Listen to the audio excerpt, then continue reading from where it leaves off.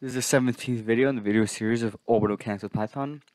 This one I'm going to talk about the n-body perturbations theory. So I'm going to start splitting up my videos in between theory and application. Um, number one, because the videos are getting a bit long and I want to make them shorter. And number two is that I bring, I feel like I bring a different perspective to orbital mechanics because the fact that I'm strictly concerned with applying it into software. So there might be a little bit different perspective of explanations of these concepts. So the first part uh, for the n-body problem is you have to understand the geometry, so which starts with the relative positions. So we have three vectors here that are going to be necessary. So the first one is this r vector, and I'm using a naming convention that I already have in software to make it a little bit simpler. So r is just what you have from orbit propagator. It's from the central body to your satellite. So we already have that. And then this RCB to NB, which I'm calling, it stands for central body to nth body um, you're going to get from SPICE files. Just like I showed in the last video how you can get the position of, say, the Earth relative to the Sun, you can do the same thing with any other two bodies. So this is going to be taken care of with SPICE files, and the vector we're going to need to calculate is this R sat to body. So the vector pointing from the satellite to whatever nth body it is. And the way to find that from those two vectors is through vector addition.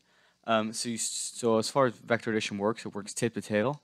So you start here at your central body, and then you go um, RCB to NB, which is the vector from the central body to whatever the nth body is.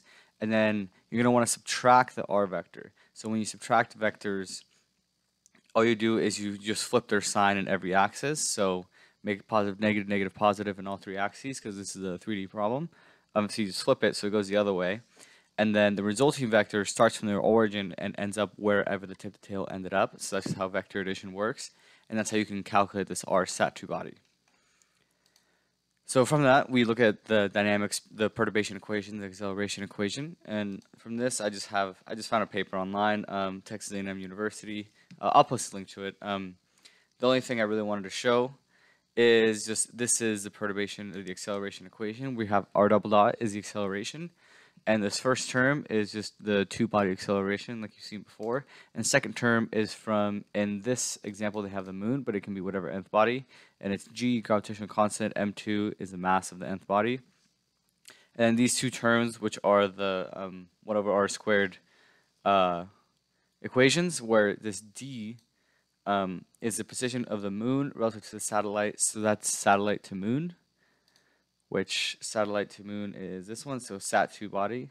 And then this R prime is the position of the moon relative to the Earth, which is here. So Earth to moon, RCB to NB, which is what we already had.